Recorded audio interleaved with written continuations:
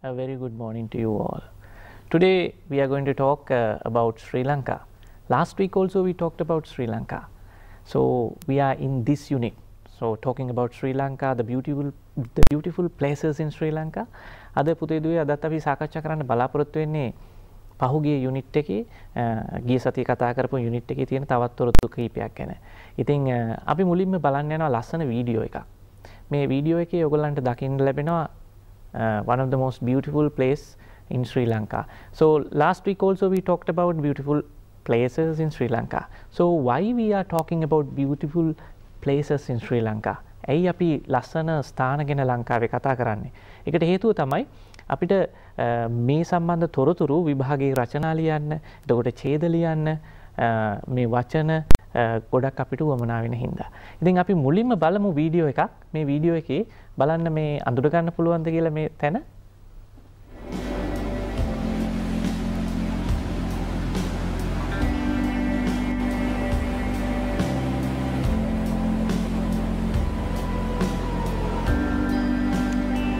So what can you say about this place? ඔගලන්ට මොනවද හිතෙන්නේ මේ ප්ලේස් එක ගැන? So you all know about this place. This is Gold, play, Gold Face Green. So the Gold Face uh, is a twin 12 acre ocean side urban park. මේක පුතේ දුවේ uh, අක්කර දොළහකට විහිදිච්ච uh, ගෝල් ෆේස් කියන ස්ථානය ලංකාව තිය ඉතින් කොළම තියෙන කවුරුත් දන්න තැනක් නේද. right so it is in the heart of Colombo ලංකාවේ හදවත වන uh, කොළඹ නගරේ තමයි මේක දකින්න පුළුවන් වෙන්නේ so it's really beautiful. So in the evening if you go to golf golf place uh, you can see lots of people and lots of sellers and uh, you can see the port city now. ඔගොල්ලන්ට port city එකක් දැන් දැක ගන්න පුළුවන් වෙනවා. It's a really a, a beautiful place. ඉතින් ඕගොල්ලන්ට ලංකාවේ ස්ථානයක් ගැන කියන්න අවශ්‍ය වුණොත් ලියන්න අවශ්‍ය වුණොත් ලස්සන වචන පාවිච්චි කරලා කියන්න පුළුවන් නේද? ඉතින් uh, ගෝල් ෆෙස් එක ගැන දැක්ක තොරතුරු තමයි ඒ. දැන් අපි බලන් යනවා මේක ගැන ලියලා තියෙන විස්තරයක්. So now we are going to see uh, this slide. Now you can see it on your screen. Right. I'm going to read this. The Galle Face is a 12 acres oceanside urban park which stretches for 500 meters along the coast in the heart of Colombo, the financial and the business capital of Sri Lanka. The promenade was initially laid out in 1859 by Governor Sir Henry George Ward. Although the original Galle Face Green extended over a much larger area than seen today. The Galle Face Green was initially used for horse racing and as a golf course, but was also used for cricket, polo, football, tennis and rugby. ඉතින් ඇයි අපි මේ ගැන කතා කරන්නේ goal Face green ගැන කතා කරන්න හේතුව තමයි මේ වගේ ස්ථානයක් ගැන ලියන්න පාවිච්චි කරලා තියෙන වචන බලන්න. මුලින්ම පාවිච්චි කරලා තියෙන ටෙන්ස් එක ගැන බලන්න. දැන් සාමාන්‍යයෙන් ස්ථානයක් ගැන කියද්දී අපි පාවිච්චි කරන්නේ ප්‍රසන්ට් ටෙන්ස් එක. දැන් මේක පාවිච්චි කරලා තියෙනවා මම මේ ඊතලින් පෙන්වන විදිහට ඊස් පාවිච්චි කරලා තියෙනවා. ඊළඟට පාවිච්චි කරලා තියෙනවා අතීත තොරතුරක් ගැන කියන්න වස් පාවිච්චි කරලා තියෙනවා. ඕ විදිහට තොරතුරු පාවිච්චි කළ තියෙන සාමාන්‍යෙන් අපි තැනක් ගැන විස්තර කරද්දි වර්තමාන කාලයෙන් තමයි විස්තර කරන්නේ. හැබැයි ඒ ස්ථානය ගැන අතීත තොරතුරක් ගැන කියන්න ඕන වුණොත් අපි වර්ස්ව මේ වගේ පාවිච්චි කරනවා. මෙතනදී වර්ස් පාවිච්චි කරලා තියෙන තත්ත්වයක් ගැන කියන්නේ ඒ කාලේ green Galle Face green was initially used මුල් කාලේ පාවිච්චි කරලා තියෙන්නේ හෝස් රේසිං වලට. අපි මුලින් ඉඳලා බලමු මේකේ තේරුම. The Galle Face is a 12 acres oceanside urban park. දැන් මේ වාක්‍ය බලන්න එතනින් ක්‍රමාවක් දාලා තියෙන ඕගොල්ලන්ට පේනවා ඇති. මේක ටිකක් සංකීර්ණ වාක්‍යයක්. දැන් ඕගොල්ලන්ට මේ සංකීර්ණ වාක්‍ය ලියන එක අමාරු නම් පුතේ දුවේ ස්ථානයක් ගැන කියද්දි ඕගොල්ලන්ට මේක කොටස් දෙකකට කඩන්න පුළුවන්. එකක් තමයි The Galle Face is a 12 acres oceanside urban park. ඊට පස්සේ which කියන එක වෙනුවට Uh, full stop එකක් තියලා it stretches for 500 meters along along the coast in the heart of Colombo. දැන් මේක කොටස් කොටස් වෙන වෙනම දීලා තියෙනවා නේද? Uh, තනි වාක්‍යයක් වෙනුවට uh, වාක්‍ය කීපයක් වාක්‍ය කොටස් කීපයක් එකතු කරලා තියෙනවා. The financial and the business capital of Sri Lanka. ශ්‍රී ලංකාවේ ව්‍යාපාරික නැත්තං ආර්ථික මේ මධ්‍යස්ථානය අගනුවර තම මේක පිහිටලා තියෙන්නේ. ද ප්‍රමනේඩ් ප්‍රමනේට් කියල කියන්නේ අපි කියන එකට ඇවිදින ස්ථානය කියන තේරුම promenade was initially laid out in 1859 මේක මුලින්ම හදලා තියෙන්නේ governor sir Henry George Ward කියන එක්කෙනා. Although the original golf face green extended over a much larger area than seen today. Original එකන මුල් කාලේ තිබිච්ච ගෝල්ෆේස් ග්‍රීන් එක මීට වඩා ඒරයා එක පැවතුනා. අද අපි දකිනවට වඩා. The golf-face green was initially used for horse racing. අස්ව රේසිං වලට තමයි පාවිච්චි කරලා තියෙන්නේ. As a golf course, golf course එකක් හැටියට පාවිච්චි කරලා තියෙනවා. But was also used for cricket, polo, football, tennis and rugby. මේ විදිහට ගෝල්ෆේස් ගැන තොරතුරු කීපයක් තියෙනවා. දැන් මේ තොරතුරුත් කීපය අපි බැලුව මේ ඡේදය මේ ඡේදයේ තියෙන අලුත් වචනවල තේරුම අපි අභ්‍යාසයකින් කරන්න යනවා. ඒ කියන්නේ this is going to be a vocabulary activity. So now we discussed about gold face green and you saw some some of the new words. So based on these new words we are going to have an activity. Now you can see it uh, in the screen. දැන් ඔයගලන්ට screen එකේ දැක ගන්න පුළුවන්. ඔයගලගේ screen එකේ uh, TV එකේ දැක ගන්න පුළුවන්. So there are uh, five words financial business promenade initially extended දැන් ඇයි මේ විදිහට අපි දුන්නේ දැම්මන් කලින් ඔගොල්ලන්ගේ ඡේදයේදී මේ වචනවල තේරුම් කියලා දුන්නා. ඔයගොල්ලන්ට ගෙස් කරන්න පුළුවන්ද මේකේ තේරුම? ෆයිනෑන්ෂල් මොනවද මේ ෆයිනෑන්ෂල් මැටර්ස් කියලා කියන්නේ? Financial matters. ඔව් ඉකොනොමික් ඒ කියන්නේ ආර්ථික එහෙම නැත්නම් මුදල්මය දේවල් සම්බන්ධයෙන්. මේ වචන පුතේදුවේ අපි කියල දෙනකොට ඒ වචනවල තේරුම හොඳින් මතක තියාගන්න උත්සාහ කරන්න මොකද මේකවා ඔගොලන්ට උවමනා වෙනවා ප්‍රශ්නවලට උත්තරලියද ඒවගේම රචනාලියද්දී ඕන වෙනවා. මේ ඒ වගේ අවශ්‍ය වෙන වචන තමයි මම තෝරලා අරගෙන ඔගොල්ලන්ට අභ්‍යාසයක් ඇටියට හදලා තියෙන්නේ. ඇතට මේ තොරතුරු ඔක්කොම අරන් තියෙන්නේ අන්තර්ජාලයේ විකිපීඩිය හරහා. ඉතින් ඊළඟට තියෙන බිස්නස් කෝපරේට් ඒ කියලා කියන්නේ ව්‍යාපාරික කියන තේරුම. ඊළඟට ප්‍රොමනේඩ් ප්‍රොමනේට් කියල කියන්නේ වෝක්වේ අපි ඇවිදින්න පාවිච්චි කරන ස්ථානයක් කියන තේරුම. ඉනිශියලි ඉනිශියලි කියල කියන්නේ පුතේදුවේ මූලිකවම කියන තේරුම. ඉනිශියලි ෆස්ලි එක්ස්ටෙන්ඩඩ් එක්ස්ටෙන්ඩඩ් කියල කියන්නේ ටිකක් ඈතට දිවයාන කියන තේරුම ටිකක් දිගු වෙනව කියන තේරුම. එතකොට අවසාන උත්තරේ ස්ට්‍රේච් ඔය විදිහට අපි වචන කීපයක් බැලුව. Financial economic business corporate, promenade, uh, walkway, initially, firstly, extended, stretch. So dear children, you can use these words when writing essays. Sometimes when you are asked to answer questions using long paragraph comprehension questions, these words, uh, you may use these words and sometimes you may come across with these words, but don't think that these words are big words or difficult words. No, these are new words. මේවා පුතේදුවේ ලොකු වචන බර වචන කියලා හිතන්න එපා. මේවා අලුත් වචන ඔගොල්ලෝ දන්නේ නැති හින්දා තමයි මේවා ඔගොල්ලන්ට අමාරු වෙලා තියෙන. අමාරුවක් නෑ මේ වචනවල. තේරුම දැනගත්තාම හරිම ලේසි. right. so gold face green ගැන අපි තව තොරතුරු බලන්න යනවා. දැන් මේ තොරතුරේ බලමු අපි මොනවද gold face uh, green ගැන තියෙන්නේ කියලා. so now look at the screen. in 1856 the then governor of British Ceylon, Sir Henry George Watt, authorized the construction of a one mile promenade along the ocean side of the Gaul Face Green for ladies and children to saunter and take in the air. The promenade was subsequently completed in 1859. Horse racing began in Face in the early 1820s. During the time of the during the time of the then British Governor Sir Edward Barnes. මොනවද මේකේ තියෙන්නේ? මේකේ තියෙන පැරණි තොරතුරු වගේක් නේද? The then governor. මේ දෙක මතක තියාගන්න ඕනේ. The then governor කියලා කියන්නේ ඒ කාලේ හිටපු ආණ්ඩුකාරවරයා. කවුද? Uh, සිලෝන් ලංකාව හිටපු ආණ්ඩුකාරවරයා තමයි සර් හෙන්රි ජෝර්ජ් වෝඩ් එයා තමයි ඕතරයිස් කරේ බලය දුන්නේ කන්ස්ට්‍රක්ට් කරන්න. මේක නිර්මාණය කරන්න හදන්න of a one mile promenade. කිලෝමීටරයක් විතර ඇවිදගෙන යෑම සඳහා පුළුවන් වෙච්ච මේ මාර්ගය හදන්න ගෝල් ෆේස් එක හදන්න එයා තමයි ඕතරයිස් කරේ බලය දුන්නේ. of the goal face green. For ladies කාන්තාවන්ට සහ ළමයින්ට සෝන්ට සෝන්ට කියල කියන ඇවිදින්න ඇන්ටේකින්ද යා හොඳ වාතාශ්‍රය ලබන්න. The promenade was subsequently completed in 1859. එද්දාස් අටසිය පනස් නමේදී පසුකාලීනව මේක සම්පූර්ණ වුණා.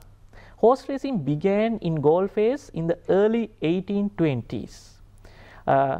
ගෝල්ෆේස් එකේ හෝස් රේසින් පටන් ගත්තේ එදදා සටසිය විස්සේ මුල් ගණන්වල ඒලි කියල කියන්නේ එක හින්දයි.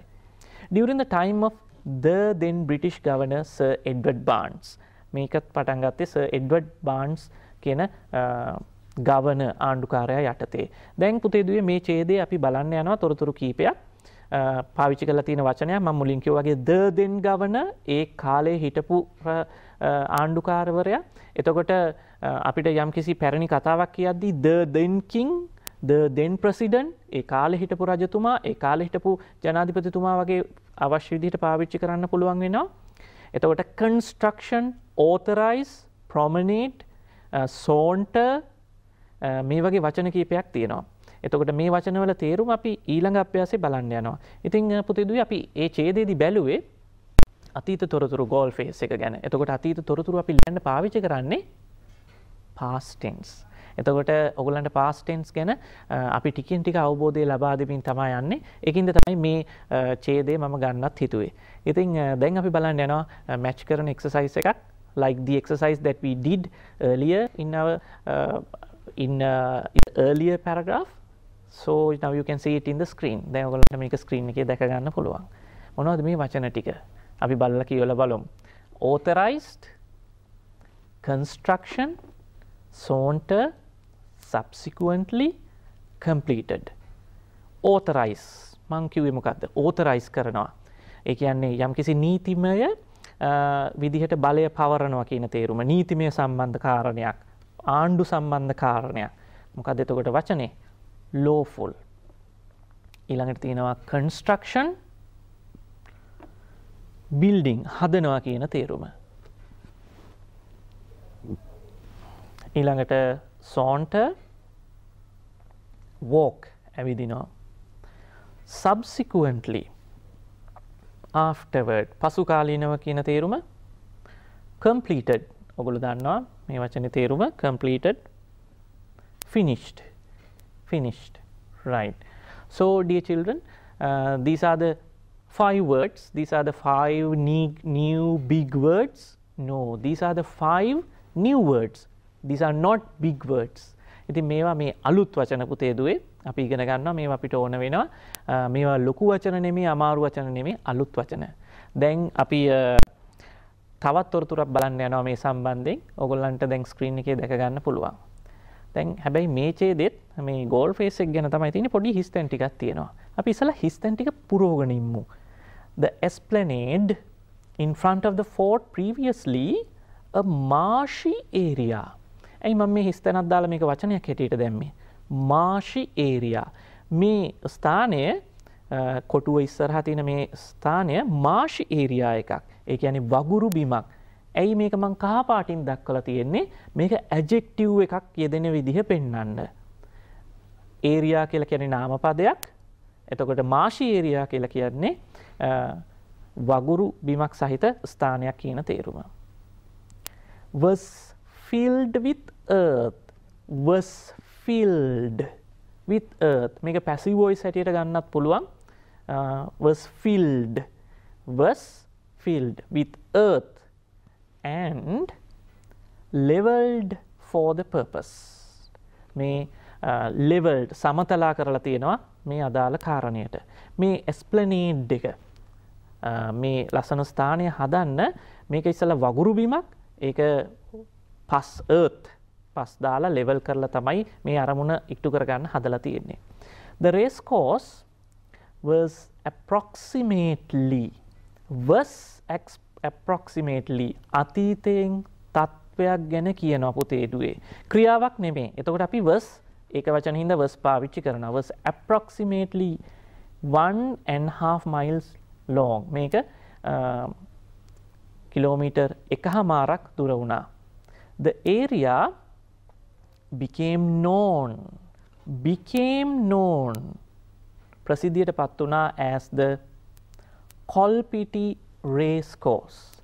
දැන් මෙතන මේ ගෝල් ෆේස් එකට ඉස්සල්ල කිව්වේ කොල් පිටි කොල්ලු පිටිය රේස් කෝස් එක කියලා.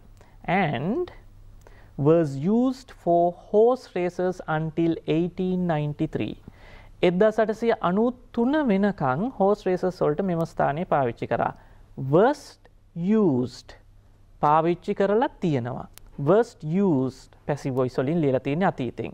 Uh, when horse racing move to the Colombo race course moved අතීත කාලේ පාවිච්චි කරලා තියෙනවා. දැන් මේ ගෝල් ෆේස් එකේ ඉඳලා කොළඹ තියෙන රේස් කෝස් එකට uh, මේ uh, හෝස් රේසිං එක uh, මාරු වෙනවා. නැත්තම් එතෙන්ට යනවා. එතකොට කලම්බු රේස් කෝස් කියන එක එතරින්දි කලම්බු කියන එක ඇජෙක්ටිව් එකක් හැටියට කටයුතු වෙනවා. එතකොට පේනවාද ඔගොල්ලන්ට ඇජෙක්ටිව් එකක් පාවිච්චි කරලා තියෙන විදිහ. දැන් මේ ඡේදය පාවිච්චි කරගෙන අපි කම්ප්‍රිහෙන්ෂන් questions ඒ කියන්නේ questions ටිකක් බලන්න යනවා. ඒකට උත්තර ටිකත් අපි බලන්න යනවා. Now children we are going to see some questions and answers based on this paragraph. Yes, now you can see the questions in the screen. What kind of a place was the esplanade in front of the fort?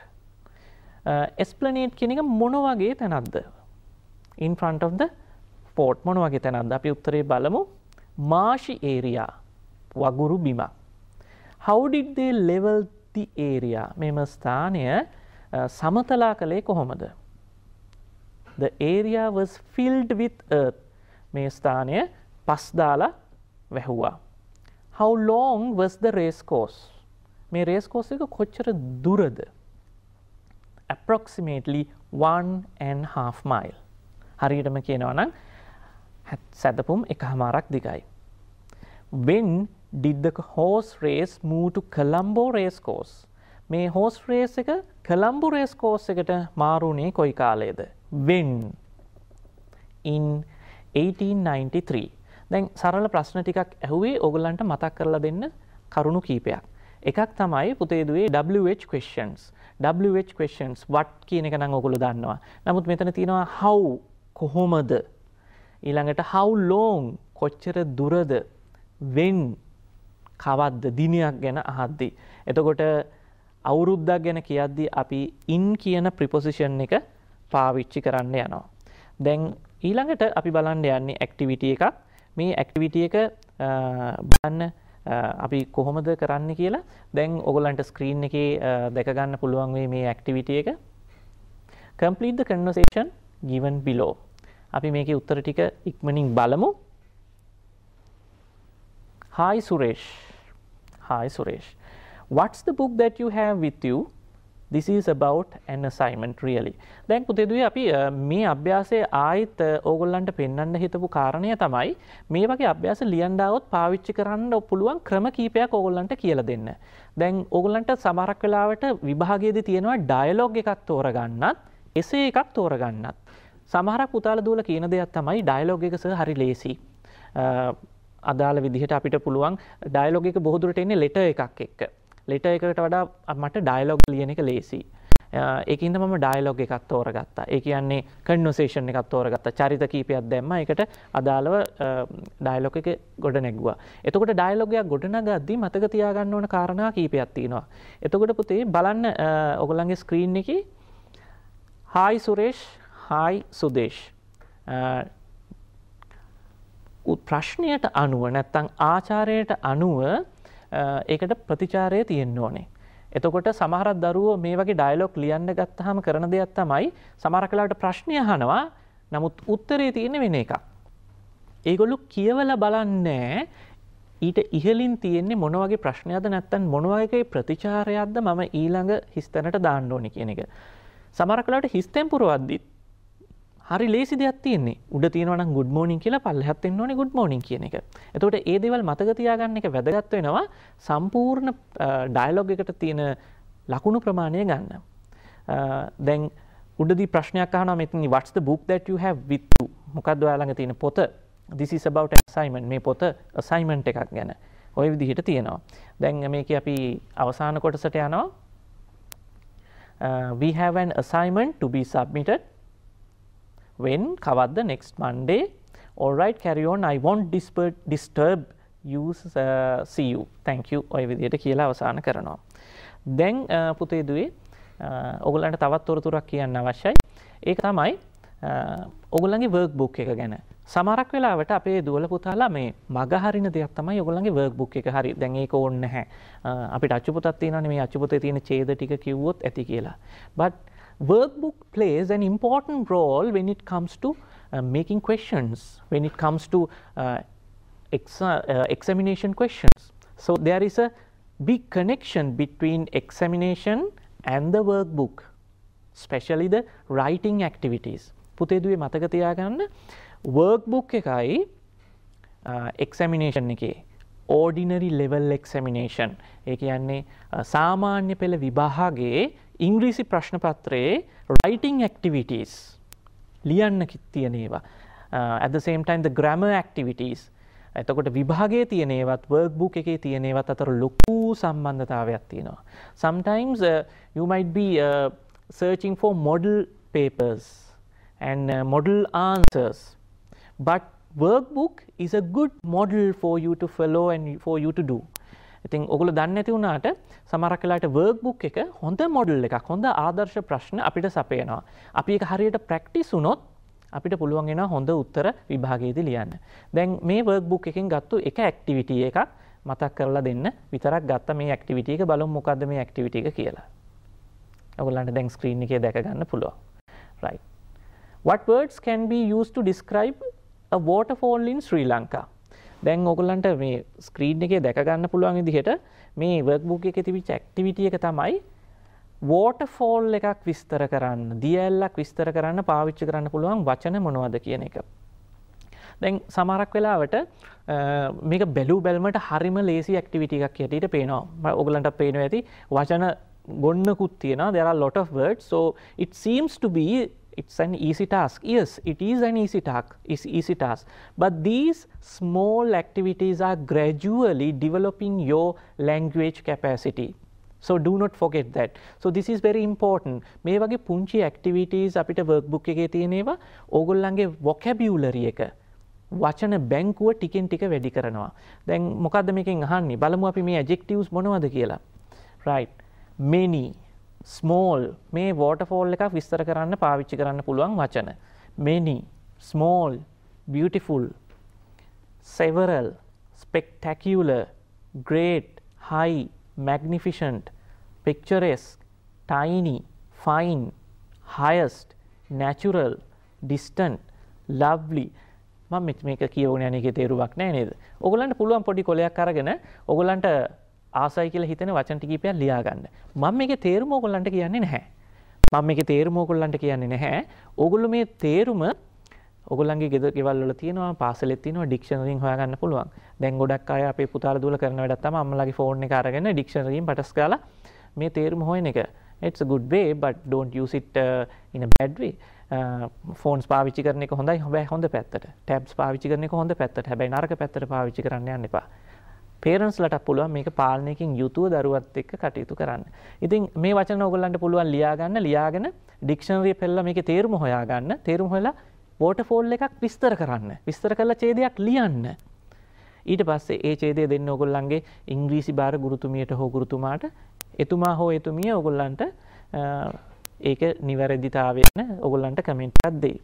So spectacular, beautiful, magnificent, picturesque tiny, fine, highest, natural, distant, lovely, white, past, famous, impressive, uh, innumerable, pretty, countless, scenic, mighty, nearby, largest, splendid, wonderful, ඔය විදිහට ගොඩක් තියෙනවා නේද? Uh, grand ඔය විදිහට තවත් තියෙනවා. ඊළඟට අපි ඊළඟ කොටසටත් යමු. Near, foot, steep, steep, steep කියල කියන්නේ නම් දැඩි බෑවුම් කියන තේරුම බ්‍රෙත් ටේකින් ඒ වචනය ලියාගන්න. Breathtaking attractive silvery unseen gigantic thunderous tremendous abundant celebrated occasional wild sacred tall cool made stunning noisy crystal amazing charming brown rocky impassable gorgeous ඔය විදිහට තියෙනවා. ඊළඟට පුතේදුවේ මතක තියාගන්න ඕන දෙයක් තමයි සමහරක් වෙලාවට ඔයගලන්ට මේ වචන ලියාගන්න බැරි වුණොත් නැත්නම් මේ වැඩසටහන ඔයගලන්ට අද්දි ආපහු බලන්න ඕනේ කියලා හිතුණොත් ඔගලන්ට පුළුවන් ඒක අන්තර්ජාලයෙන් රූපවාහිනී.lk වලට ගිහිල්ලා ඩවුන්ලෝඩ් කරලා හිමින් හිමින් ඔගලන්ට ඕන විදිහට පෝස්ට් කරලා බලන්න. ඊට පස්සේ ඔගලන්ට පුළුවන් අපිට මේ සම්බන්ධයෙන් අපේ ಗುಣදොස් කියලා අපිට ලියුම් එවන්නත් පුළුවන්. ඉතින් ඉදිරියේදී අපි බලාපොරොත්තු වෙනවා ඕගොල්ලන්ගෙන් ඒ වගේ ඕගොල්ලන්ගේ අවශ්‍යතාවයන් ගැන ලියයි කියලා. දැන් අපි බලන්න යනවා workbook එකේ තියෙන තවත් activity එකක්. Now you can see it in the screen. Describe a beautiful place in Sri Lanka. මොකද්ද මේ කරන්න කියලා තියෙන්නේ? ශ්‍රී ලංකාවේ තියෙන ලස්සන ස්ථානයක් ගැන විස්තර කරන්න කියලා තියෙනවා. හැබැයි ස්ටෑන් ගොඩක් තියෙන්නේ නේද? ඔව්. අපි ඒක විස්තර කරන්න යන්නේ නැහැ. ඕගොල්ලන්ට තමයි ඒක විස්තර කරන්න සිද්ධ වෙන්නේ. ඉතින් අර කිව්ව වචන පාවිච්චි කරලා ගෝල්ෆේස් ග්‍රීන් ගැන අපි ඉගෙන ගත්තු වචන ටෙන්ස් එක ඒව පාවිච්චි කරලා ශ්‍රී ලංකාවේ ලස්සන ස්ථානයක් ගැන ඔගොල්ලන්ට පුළුවන් ලියන්න.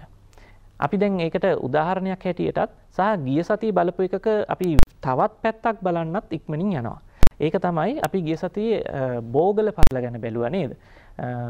දැන් මේක ගැන අපි ආපව පොඩ්ඩක් කියලා යනවා කියන්න බලාපොරොත්තු වෙනවා මේක පාවිච්චි කරලා තියෙන ටෙන්සස් පොඩ්ඩක් හයිලයිට් කරන්න ඕනේ. ඒකට හේතුව අපේ දරුවන්ට මේ ලියන එක හරිම ගැටලුවක් වෙලා තියෙනවා. කොහොමද අපි ලියන්නේ? සමහරක් වෙලාවට මේ තොරතුරු අපි කොහොමද ගොනු කරගන්නේ? දැන් මේකෙදි මම පෙන්වන්න යන්නේ කොහොමද ග්‍රැමර් පාවිච්චි කරලා තියෙන්නේ මොන ටෙන්ස් එකද පාවිච්චි කරලා තියෙන්නේ මොන වගේ වාක්‍යද මොන වගේ වචනද පාවිච්චි කරලා තියෙන්නේ කියලා. So you can see it in the screen. Uh, graphite is used for many things varying from pencil making to making different valuable products. මේ වගේ ස්ථානයක් ගැන ලියද්දි පුතේ දුවේ මතක තියාගන්න අපි adjectives පාවිච්චි කරන්න ඕනේ. valuable products. නිකං නිෂ්පාදන නෙමේ වටිනා කියන නිෂ්පාදන කරන්න graphite පාවිච්චි කරනවා. natural graphite ස්වභාවික graphite is mostly consumed for refractories, steel making, expanded graphite, uh, brake lining, foundry, facing and uh, lubricants ඔය විදිහට තියෙනවා. පෝගල graphite mines are situated in ගල්ලිගමුව Sri Lanka. situated are situated මේ පතල් පිහිටලා තියෙන්නේ ගල්ලිගමුව ශ්‍රී ලංකාවේ. ඔය විදිහට තියෙනවා තොරතුරු ලියලා. ඊළඟට අපි බලන්න යනවා මේ ඡේදයේ ඉතුරු කොටස. Tons and tons of graphite are mined annually and the lots are sent to Japan. මේ විදිහට ජපානයට යවනවා කියලා තියෙනවා යුරෝපයට යවනවා කියලා තියෙනවා බලන්න ආපහු ප්‍රසන්ටෙන්ස් තම පාවිච්චි වෙලා තියෙන්නේ ආපාවිච්චි කරලා තියෙනවා ඊස් පාවිච්චි කරලා තියෙනවා ප්‍රසන්ටෙන්ස් පාවිච්චි කරලා තියෙනවා the mind is a kilometer at its deepest point people with different interests reach Bogala some visit for educational purposes some as an adventurous activity and some merely to engage in photography The visitors are advised to wear protective gear such as hard hats and steel toed boots. දැන් පුතේ දුවේ දැන් මේක මේක කියවන එකේ තේරුමක් නැහැ. ඇයි? ඔගොල්ලෝ බලන්න ඇති මොකටද නේද කියලා. දැන් මේ පොත ගන්න වර්ක් බුක් එක ඔයගොල්ලන්ගේ ගන්න. අරගෙන කරන්න පුළුවන් තවත් දෙයක් තමයි රයිටිං ඉම්ප්‍රූව් වෙන්න. මේ වාක්‍ය වෙන වෙනම අරගෙන ලියන්න. අරගෙන ලියලා ඒකේ සබ්ජෙක්ට් එක රවුම් කරන්න. දැන් අපි මේක මම ඒ විදිහට කරලා පෙන්වන්නම් කියන්නම් ඔගොල්ලෝ අහගෙන ඉන්න හොඳට. අපි එක් වාක්‍යයක් ගමු. කොයි වාක්‍යද ගන්නෙ? අපි ගමු the visitors ආ කියන වාක්‍ය. දැන් මම ඒක රවුම් කරනවා මේ කර්සර් එකෙන්. The visitors are advised to wear protective gear such as hard hats and steel toed boots. දැන් මේකේ කවුද සබ්ජෙක්ට් එක? ඔව් මට ඇහෙනවා කියනවා the visitors ඒකල තමයි subject එක ක්‍රියාව තමයි are advised to wear protective glass such as gear and hard hats and steel toed boots ඔය කොටස් ටික අපි ඔබ්ජෙක්ට් එක හැටියට ගන්නවා එතකොට මේ විදිහට වාක්‍ය ලියලා ඔගොල්ලන්ට පුළුවන් කරන්න පුළුවන් මොකක්ද. ඔගොලන්ට පුළුවන් මේ වාක්‍ය ටෙන්ස එක හොයන්න පුළුවන්. කතරුට අනුව ක්‍රියාව යෙදිලා තියන්නේ කොහොමද කෙනෙක තේරුම් ගන්න පුළුවන්. ඒ විදිහට වාක්‍ය ගොන්නක් ලිව්වට පස්සේ ඔගොල්ලන්ට ඒ වාක්‍ය හැදිලා තියෙන විදිහ ලේසියෙන් තේරුම් ගන්න පුළුවන් වෙනවා. ඉතින් මේ විදිහට ඔගොල්ලන්ට පුළුවන් වෙයි ලස්සනට මේක තේරුම් ගන්න. අපි බලමු ඊළඟට ස්ලයිඩ් එකේ මොනවද තියෙන්නේ කියලා. මොනවද මේ තියෙන්නේ? Write 10 adjectives that would describe Sri Lanka better. ලංකාව ගැන විස්තර කරන්න මේකත් uh, වර්ක්බුක් ඇක්ටිවිටිය එකක් uh, ඇජෙක්ටවස් ඇජෙක්ටවස් දහයක් පාවිච්චි කරන්න කියලා තියෙනවා. බල මොනවද පාවිච්චි කල තියෙන ඇජෙක්ටවස් කියලා. Beautiful bustling famous fascinating lively picturesque polluted ancient natural underdeveloped. Right. මේක ගැනෙත් මම තේරුමක් කියන්න පුතේදුවේ මේ ඇජෙක්ටවස් ලියාගන්න ඔගොල්ලෝ. ලියාගෙන අධ්‍යයනය කරන්න. අධ්‍යයනය කරලා විතරක් මදි ඒවා ප්‍රැක්ටිකලි යූස් කරන්න. කොහොමද යූස් කරන්නේ වාක්‍ය ලියන්න. බියටිෆුල් කෙනෙක දාලා වාක්‍යයක් ලියන්න වැරදියට හරි ලියන්න. පික්චරෙස්, පලියටඩ්, ඒන්ෂන්, නැචුරල්, අන්ඩඩිවලොප් ඉස්සල තේරුම හොයන්න. දැන් පුතේදුවේ මේවැ තේරුමත් අපි දුන්නොත් ඔගොල්ලන්ට ඕනවට වඩා මේක ලේසිවෙන්න යනවා. හැබැයි මේගොල් ඔගොල්ලු මේක අමාරුවෙන් ඉගෙන ගත්තොත් ඒ ක්‍රියාවලිය ඔගොල්ලන්ට උදව් කරනවා ඒ වචනවල තේරුම හොඳින් මතක තියාගන්න. දැන් අපි කියනවට වඩා ඔගොල්ලන්ට මේක ඩික්ෂන් එකකින් බැලුවොත් මේ තේරුම හොඳින් මතකයට යයි. මොකද ඔගොල්ලෝ යම් කිසි මහන්සියක් වෙලානේ බලන්නේ. ඒ විදිහට. right. දැන් අපි බලන්න යනවා පොඩි වීඩියෝ එකක්. බලමු මේ වීඩියෝ එකේ මොනවද තියෙන්නේ කියලා. Hi there. We are going to learn simple past tense. The simple past tense is used for actions that have already taken place in the past.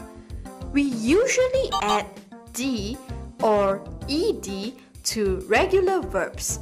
Let us look at the following examples.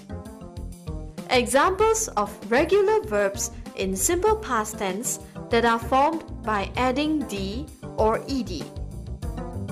He talked loudly in class last week. Talk, talk. She combed her hair just now. Comb, combed. They watched the movie last night. Watch, watched. However, some verbs are irregular. Their simple past tense is not formed by adding d or ed. Let us look at the following examples. Examples of irregular verbs which are not formed by adding D or ED. Jenny ate an orange just now. Eat, ate. This morning, I drank a glass of orange juice. Drink, drank. My mother gave. හොඳයි අපි බැලිය simple past tense ගැන පොඩි video එකක් නේද කොහොමද simple past tense හදන්න කියලා දැන් ඔගලන්ට ස්ක්‍රීන් එකේ දැකගන්න පුළුවන් වෙනවා. ඒකින් තියෙන පොඩි ඇක්ටිවිටිය එකක්. මේක තම අපි වීඩියෝකින් ගෙන ගත්තේ. තැම් බලන්න ඔලන්ගේ ස්ක්‍රීන් එක. Right. He loudly in the class last week. He talked. Regular verb එකක් පාවිච්චි කරලා තියෙන්නේ. ඇයි රෙගියුලර් කියන්නේ? අපි වීඩියෝ එකේ බැලුවා වගේ ed එකතු කරලා තමයි මේ ක්‍රියාව අතීතයට හරවලා තියෙන්නේ. she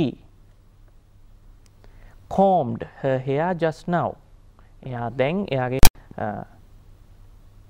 hair එහෙම නැත්නම් කොණ්ඩේ පීරුව කියන තේරුම. ඒකත් regular verb එකක්. They watched ED movie last night. ඊයේ රෑ චිත්‍රපටියක් බැලුවා. Jenny ate an orange. Jenny uh, orange එකක් කෑව කියන තේරුම. I drank a glass of orange. My mother gave me a story book last night. දැන් පළවෙනි වාක්‍ය තුන පුතේ දුවේ regular verb ed දාලා තමයි හරවලා තියෙන්නේ. එතකොට ඉතුරු වාක්‍ය තුන irregular verb. ඒ කියන්නේ present tense ක්‍රියාපදයට විරුද්ධව නැත්තම් ඒට වඩා හාත්පසින්ම වෙනස් වචනයක් තමයි ඇවිල්ලා තියෙන්නේ eat වෙනුවට ate, drink වෙනුවට drank, ගිව් වෙනුවට ගේව් තියෙනවා. ඔය විදිහට තියෙනවා. දැන් අපි බලන්න යනවා මිස්ට බීන්ගේ වීඩියෝ එකක්. අපි මිස්ට බීන්ගේ වීඩියෝ එක බලන්න කලින් අපි ඒකට අදාළ තියෙන වාක්‍ය ටික බල්ලෙමු ඊට පස්සේ බලමු මේ වීඩියෝ එකේ තියෙන වාක්‍ය ටික කොහොමද අපිට අදාළ කරගන්න පුළුවන් කියලා. Mister Bean mister Bean couldn't sleep. Mister බීන්ට නිදිය ගන්න බැරි වුණා. He got an idea. එයාට අදහසක් ආවා. Past tense. අතීතයෙන් තමයි මේ කියන්නේ ඔක්කොම. He called a taxi. එයා ටැක්සි එකට කතා කරා. He මොකද කරේ? Carried the guest bag. එයා අමුත්තගේ බෑග් එක රැගෙන ගියා. He put them into the taxi. එයා එක ටැක්සි එකට දැම්මා. The guest heard the bell and started sleepwalking. ගෙස්ට ඇහුණා මේ අමුත්තට ඇහුණා සද්දේ. මොන සද්දෙද? බෙල් එකේ සද්දය ඇහුණා. එයා ස්ලීප් වෝකින් නින්දෙන් ඇවිදින්න පටන් ගත්තා. ඊළඟට he followed the smell of the turkey. කලුකුම් එහෙම නැත්තම් මේ මස්වල සුවඳ එයාට ආව නැත්තම් ඒක ෆලෝ කරගෙන ගියා. ඊළඟට මොකද උනේ? He went downstairs එයා පල්ලෙහාට ගියා Mr. Bean pulled the turkey into the car car එකට uh, මේ ටර්කි නැත්තම් කළු කුමාව දැම්මා Mr. Bean took the turkey and went around the car turkey අරගෙන කාර් එක වටේට ගියා මේ හැම එකම පුතේ දුවේ අපි නිකන් ලියනවා නෙමේ past tense වලින් කොහොමද ලියන්නේ කියන එක තමයි මේ අපි කියලා දෙන්න උත්සාහ කරන්නේ he shut the door next he told the driver to drive away Mr. Bean waved goodbye. Mr. Bean uh, අත වැනුව ගුඩ්බයි කියලා. දැන් අපි මේ වාක්‍ය ටික තියෙන වීඩියෝ එක දැන් අපි බලන්න යනවා. බලන්න uh, කොහොමද මේ වෙච්ච සිද්ධිය වාක්‍යවලට පරිවර්තනය කරලා තියෙන්නේ කියලා. දැන් අපි එහෙනම් Mr. Bean past tense වලින් කරපු මේ වීඩියෝ එක බලලා ඉමු. ඒකේ අපි කතා කරපු වාක්‍යෙත් ඔක්කොම තිබුණා නේද? ඔයගලන්ට දැක ගන්න පුළුවන් වෙන්නේ නැහැ. right. දැන් පුතේ දුවේ අපි බලන්න යන්නේ අපේ අන්තිම සෙග්මන්ට් එක. මොකක්ද අපේ අන්තිම සෙග්මන්ට් එක? So we are going to see how to write essays. රචනා ලියන්න. So I think uh, now it's high time for you to start writing good essays because this is the third term. So now you have to get ready with your writings. දැන් ඇත්තටම uh, දෙවනි uh, term එක ඔයගොල්ලන්ගේ පටන් ගන්න තුන්වෙනි term එක නෙමෙයි දෙවෙනි ටර්ම් එක පටන් ගන්න දැන් රචනා ලියන්න පටන් ගන්න ඕනේ. දැන් රචනා ලියන්න කලින් මෙන්න මේ තොරතුරු ටික ඔයගොල්ලෝ දැනගත්තොත් ඔයගොල්ලන්ට uh, වැඩි හොඳින් ලකුණු ගන්න පුළුවන් වෙන විදිහ දැනගන්න පුළුවන් වෙයි. බලමු ඔයගොල්ලන්ගේ ස්ක්‍රීන් එකේ මොකද්ද තියෙන්නේ. How to score in an essay. රචනාවකින් කොහොමද අපි ලකුණු ගන්නෙ?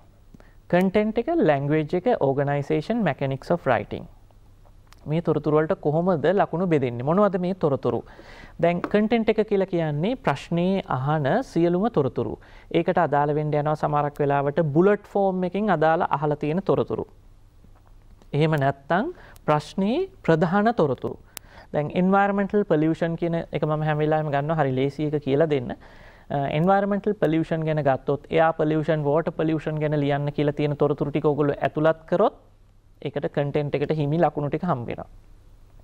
ඊළඟට ලැන්ග්වේජ් කියලා කියන්නේ මොකද්ද? ග්‍රැමර්. ඒකත් අනිවාර්යෙන් ඔයගොල්ලෝ අවධානය දෙන්න ඕනේ. ඕගනයිසේෂන් සංවිධානය. ඊළඟට mechanics of writing. Mechanics of writing වලටත් ලකුණු තුනක් හම්බ වෙනවා. සමහරක් වෙලාවට ඔයගොල්ලෝ හිතන්නේ මේකට ලකුණු එතරම් හම්බ වෙනවා කියලා කියලා මේ කමා දාන එකට ෆුල් ස්ටොප් තියෙන එකට මේවටත් ලකුණු හම්බ වෙනවා. ඕගනයිසේෂන් වලටත් ලකුණු සංවිධානය කරලා තිබුණොත් තොරතුරු හරියට ගොනු කරලා තිබුණොත් ලකුණු දෙකක් හම්බෙන්ට යනවා. ඉතින් පුතේදුවේ සමාරක් වෙලාවට ඔගුල රචනා එක දිගට ලියාගෙන යනවා. එක සිස්ටමටික් නැහැ.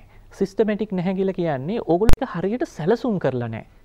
You have to plan the essay properly.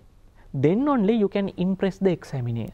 The examiner, uh, if you are writing without a plan, then the ideas might come in here and there. So it is going to be a mess. So without uh, without making your essay a mess, you can plan the essay and write the essay. But you won't get time during the exam, so when you are doing the exam, you don't get lot of time to plan an essay. so in, in advance, you have to practice how to plan an essay. So ඒ කියන්නේ exam එකට ගිහිල්ලා ඔයගොල්ලන්ට අවස්ථාවක් හම්බෙන්නේ නැහැ. ඇත්තටම එසේ එකක් මේ ප්ලෑන් කර කර සැලසුම් කර කර ලියන්න. හැබැයි ඕගොල්ලෝ මේ සැලසුම් කරන දේ කලින් ප්‍රැක්ටිස් කරලා පුහුණු කරලා තියෙනවා නම් ඕගොල්ලන්ට හොඳට පුළුවන් වෙන්න යනවා. එතන ගියාට පස්සේ විභාගයට ඉඳගත්තට පස්සේ කෙටි කාලයකින් එසේ එක ප්ලෑන් කරන්න. සමහරක් වෙලාවට ඔයගොල්ලෝ කරන දෙයක් තමයි මේ මේක අවශ්‍ය නැහැ. මේ අපිට මේක ප්ලෑන් කරන්න ඕනේ ඕක හිතිච්ච හිතිච්ච වෙලාවට එහෙම ලියනවා කියන එක. ඔව් ඒක එහෙම කරන්නත් පුළුවන්. but you are going to cost you are going to have a punishment for that. ඔයගොල්ලන්ට ඒකට දඬුවමක් හම්බෙන්න වෙනවා. මොකද දඬුවම? ඒක තමයි සමහරක් වෙලාවට A එකක් ගන්න පුළුවන් එක්කෙනාට හම්බෙන්නේ B එකක්. B එකක් ගන්න පුළුවන් එක්කෙනාට හම්බෙන්නේ C එකක්. මේ ප්ලෑනින් නැති හින්දා. ඉතින් පුතේ දුවේ සමහරක් වෙලාවට දැන් ඕගොල්ලෝ හරි කාලසටහනක් හදාගෙන ඉංග්‍රීසි වලට රයිටිං පැත්ත හදාගත්තොත් මේ විදිහට මම ස්ක්‍රීන් එකේ පෙන්නපු තොරතුරු වලට අවධානය දීලා ග්‍රැමර් ග්‍රැමර් වෙනවම එතකොට ඕගනයිසේෂන් ප්ලෑනින් මේ ටික හරියට හදාගත්තොත් ඕගොල්ලන්ට මේ අමතර ලකුණු ප්‍රමාණය සැලසුම් කරගන්න පුළුවන් වෙයි. අපි දැන් රචනාවක් බලන්න යනවා සරලව ලියලා තියෙන රචනාවක්. මේ රචනාවෙන් අපි අද ප්‍රෝග්‍රෑම් එක අවසන් කරන්න බලාපොරොත්තු වෙනවා. අපි බලමු මොකද්ද මේ රචනාව කියලා. හොබි එක ගැන කියලා තියෙන්නේ. දැන් ඔයගොල්ලන්ට ස්ක්‍රීන් එක තියෙන්න යනවා මේ ඉන්ට්‍රෝ එක ආරම්භ කරන හැටි my hobby is reading i read storybooks magazines newspapers uh, one thing you should remember is that uh, if you write an essay in a simple manner sometimes you may feel that you won't get marks but if you have written it grammatic if you have written grammatically correct sentences you will be given marks. සමහර කලාවට සරලව ලිව්වහම ඕගොල්ලන්ට ලකුණු හම්බෙන එකක් නැහැ කියලා හිතනවා ඇති. නමුත් ව්‍යාකරණ කූලව ස්පෙලිං වරද්දන්නේ නැතුව ඕගොල්ලෝ යම්කිසි වාක්‍යයක් තොරතුරක් ඉදිරිපත් කරොත් ඒකට ලකුණු හම්බ වෙනවා. මේක හරි සරලයි. This hobby got started when I was a little boy.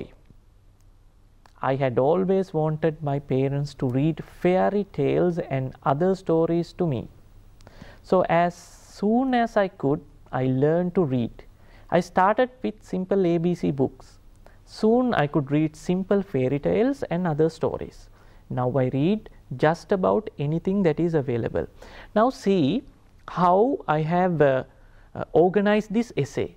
මේ එසේ එකේ මේ පළවෙනි පැරග්‍රාෆ් එකේ තොරතුරු සංවිධානය කරලා තියෙන හැටි බලන්න. කියවගෙන යනකොට සිම්පල් තොරතුරේ ඉඳලා සරල තොරතුරේ ඉඳලා ටිකක් සංකීර්ණ තොරතුරු දක්වා ගිහිල්ලා තියෙනවා. මම පුංචි කතන්දර පොත් තම මුලින්ම කියවන්න පටන් ගත්තේ ඊට පස්සේ මැගසින් නිවස් පේපර්ස් එක පටන් ගත්තේ මම පොඩි පිරිමි ළමෙක්ව ඉඳද්දි and always wanted my parents to read fairy tales ඉතින් ඒ කාලේ fairy tales සුරංගනා කතා කියවන්න අවශ්‍ය වුණා soon as I could I learned to read. මම ලොකු වෙනකොට පොඩි පොඩි පොත් කියවන්න පටන් ගත්තා. කලින් කියවුවේ අම්මලා. Soon I could read simple fairy tales. මුලින් පොඩි පොඩි ෆේරිටේල් සුරංගනා කතා කියවන්න පුළුවන් වුණා. Now දැන් read just about anything that is available. කියවන්න ඕනම දෙයක් තිබුණොත් ඕනම දෙයක් කියවන්න පුළුවන් කියලා තියෙනවා. බලන්න මේ සමහරක් වෙලාවට පුතේ දුවේ මේ ප්ලෑනින් අපි පුරුදු වුණාට පස්සේ තොරතුරු අපේ මොළය ඇතුලේ හිර වෙන්නේ නැහැ we won't stuck with the information the information or the details flows methodically අපි ප්ලෑනිං අපි පුරුදු වෙලා තිබුණොත් තොරතුරු පිළිවෙලකට ගලාගෙන යනවා. එහෙම ගලාගෙන ගිහාම කියවන කෙනාටත් හරි පහසුයි ඒක කියවන්න. දැන් අපි බලන්න යනවා මේකේ ඊළඟ පැරග්‍රාෆ් එකේ මොනවද තියෙන්නේ කියලා. Paragraph 1. right. Reading enables me to learn about so many things. I learned about how people lived in bygone days. I learned about the wonders of the world, space travel, human achievements, gigantic whales, tiny viruses, and other fascinating things of our world. මොනවද මේ දෙවැනි පළවෙනි paragraph එකේ කියන්නේ intro paragraph එකට පස්සේ මොනවද තියෙන්නේ කියවීම මට හැකි කරවලා තියෙනවා. Learn so many things. ගොඩක් දේවල් ඉගෙන ගැනීමට හැකි වෙලා තියෙනවා. I learned about how uh, people lived in uh, bygone days.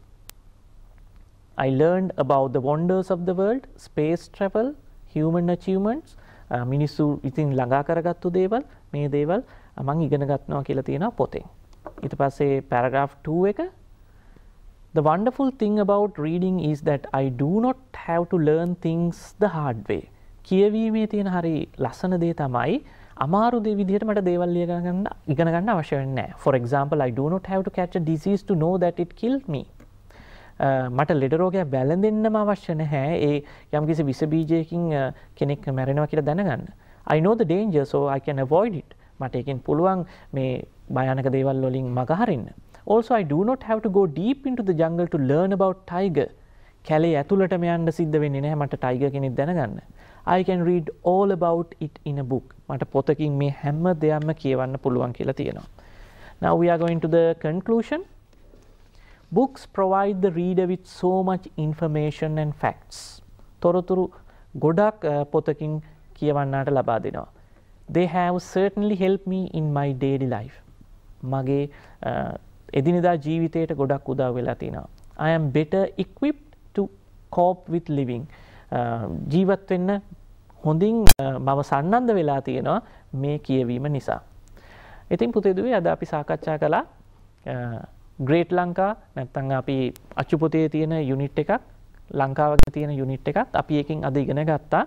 Past tense මිට බීන්හා පාස්ටෙන්ස් අපි ඉගෙන ගත්තා. තොට ඇජෙක්ටවස් කොහොමද වාක්‍යවල පාවිච්චි කරන්න කියලා ඉගෙන ගත්තා. එතකොට ස්ථානයක් ගැන විස්තර කරද අපි පාවිච්චි කරන්න ඕනේ ටෙන්සස් මොනවද කියලා ඉගෙන ගත්තා. මේ තොරතුරු ගොඩාක් වැදගත් තොරතුරු. ඉතින් තව දෙයක් තමයි. මොනවගේ ප්‍රක්ටිසර්ස්ද මොනවගේ අභ්‍යාසද අපි කරන්න ඕනේ මේ කාලේ? දැන් අපි දෙවනි වාරයේ ඉන්නේ. රචනා ලියන්න ඕනේ. වාක්‍ය කොහොමද හැදිලා තියෙන්නේ කියන එක ඉගෙන ගන්න ඕනේ. මේවා අපිට රයිටින් වලට ගොඩක් උපකාර වෙනවා. ඉතින් ලබන සතියේත් අපි බලාපොරොත්තු වෙනවා මේ වගේ ලස්සන වැඩසටහනකින් ඕගොල්ලන්ව හම්බ වෙන්න.